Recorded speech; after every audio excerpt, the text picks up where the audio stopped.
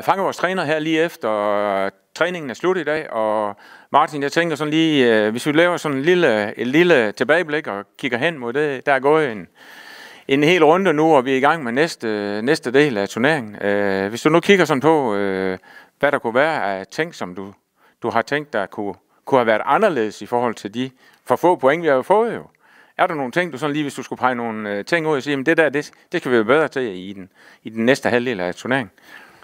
Jamen det er selvfølgelig det aller første, der popper op i mit hoved, det er at få nogle flere point. Og hvordan, øh, hvordan gør man så det? Det er klart, øh, vi, skal, vi skal have nogle flere point for at overleve i den her øh, fede række, som vi egentlig hele tiden har sagt. sagt. Øh, og så er det jo, når man kigger vores, vores øh, 12 kampe igennem, så har det jo været, det har jo været små ting, og det har jeg jo egentlig stået og sagt rigtig mange gange. Så det, øh, når man så også siger det, så er det jo et spørgsmål om, om kvalitet der i begge ender. Det egentlig øh, handler om, det er små ting.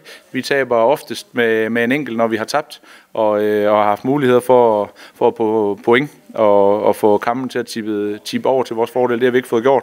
Så, øh, så der er noget med kvalitet og, og kynisme, som også ligger rigtig tæt op af det i, øh, i begge ender. Få sparket dem ind, øh, når vi har muligheden for det. Øh, oftest har vi også været, øh, vi har været for meget bagud, øh, og det gør det bare svært i den her den her række, når man kommer bagud. Og, og med det hold, vi også er, kommer vi, øh, kommer vi foran i nogle kampe, så har vi også et hold, der kan gøre ondt på rigtig mange øh, hold. Men, øh, men når rummene bliver lidt mindre, så er det svært at, øh, at vinde fodboldkampe. Så, øh, så det er nogle af de ting, øh, øh, jeg peger på, men, øh, men har også en, øh, en tro på øh, sammen med spilleren, at det, det er små ting, der gør det, og øh, at det, det, ligger, det ligger og venter lige om hjørnet.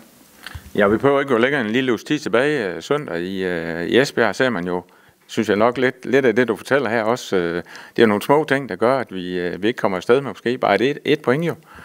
Ja, det er det. Altså i sådan en kamp, hvor vi jo ikke kom bagud 2-0, kan man sige, i starten af anden halvleg, så får man 1-1 for sådan en kamp. Øh, og i forhold til det, jeg sagde før, så, øh, så havde vi også mulighed for at komme foran, og kommer vi foran 1-0 øh, på, på sådan en svær øh, og sjov udebane, så, øh, så bliver det noget helt andet. Øh, det var det, vi var videre lykkes med for nogle runder siden, og, og de vinder dernede 2-0, så, øh, så, blev det, så blev det en anden kamp, vi kommer bagud 2-0, og, og det er jeg egentlig også stolt af drengene, den, når nu det nogle gange sker, så øh, måden vi kommer formår at rejse os og stå sammen og, øh, og få gjort kampen spændende til sidst, øh, det, er, det borger også og fortæller også en historie om, øh, hvilken mental tilstand øh, holdet trods alt har om på en rigtig svær periode.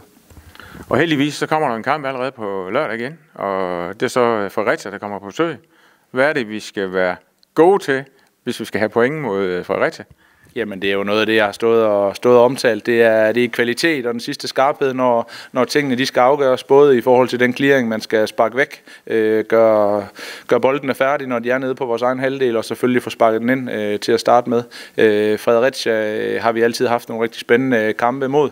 Øh, sidste gang, øh, ja, det var en lidt samme historie dernede, øh, som vi oplevede her i weekenden mod, mod Esbjerg, hvor vi kommer bagud 2-0 og får, får kæmpet os tilbage og får smidt hæmningerne lidt i anden halvleg. Og, øh, og har jo nogle kæmpe chancer til sidst for at få, for udlignet dernede. Kan vi, kan vi nu komme foran, så, øh, men også når kampen den lever, så er det, øh, så er det et hold, der, der er rigtig gode, men, øh, men også et hold, vi, vi i sandhed kan, kan byde op til dans, så, så det har jeg en forventning om, vi kommer til at gøre. Og hvis man kigger hen mod kampen, er det sådan, at ryster man posen en gang og siger, nu, øh, nu skal vi prøve noget andet, eller er det, vi øh, har vist indtil videre, det er den øh, form for fodbold, vi gerne vil spille jo? Øh, ja, det er jo sådan lidt en blanding. Vi vil gerne øh, spille den form for fodbold, som, øh, som vi gør, og, øh, og så kigger vi på hver enkelt kamp, hvad der, hvad der er bedst, øh, og hvilken gameplan vi lægger. Og, øh, og der har vi øh, lagt os fast på, hvilken retning det er. Og, øh, og så begynder vi med at kigge efter personalet, hvem der, hvem der kan opfylde de roller, vi nogle gange har givet på hver enkelt position. Og, øh, og det, øh, det, er, det er vi sådan ret afklaret med, øh, hvilket det er. Og, øh, og så er der kamp om pladserne. Det er, det er tæt øh, på, på rigtig mange positioner, og så er, det, så er det lige det sidste, der gør, om det er, det er den ene eller den anden, man, øh, man vælger. Øh, de viser sig rigtig godt frem på banen, rigtig mange af spillerne, og, øh, og så skal vi bare lige have det med og overført til kamp også. Øh, så når, når vi så har lagt den før omtalte gameplanen klar, så, øh, så skal det udføres, og så, øh, så vi, kan, vi kan komme i gang med sejrene. Og bortset fra to gange Mikkel, som jeg ikke forventer, eller de kan jo ikke deltage, så er alle så klar til, til at indgå i truppen på lørdag?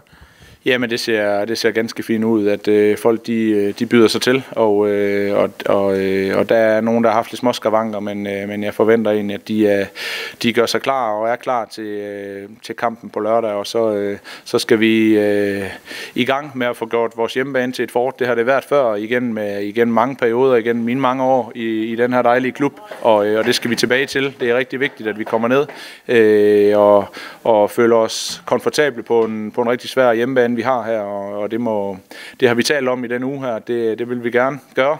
Og øh, så skal vi så også ud og vise det og, og få, få øh, bygget, øh, få startet sådan, øh, sådan fort op. Og så kan man sige, at der er i hvert fald øh, helt sikkert, at vi kommer ikke til at få problemer med at se noget ned, fordi øh, nu får vi et lys, som i hvert fald er top, top øh, fint, så øh, skal vi ikke regne med, at det er det, der skal til for, at vi øh, får puttet det her mål ind? Jo, lad os satse på, det er det, der har været udfordringen, selvom øh, det er i dagtimerne, vi spiller. Så håber vi på, det er tændt, og, øh, og så, øh, så vælter sejren ind fra nu, og lad os, øh, lad os satse på det. Godt, Martin. Tak for det her, og god kamp. Tak for det.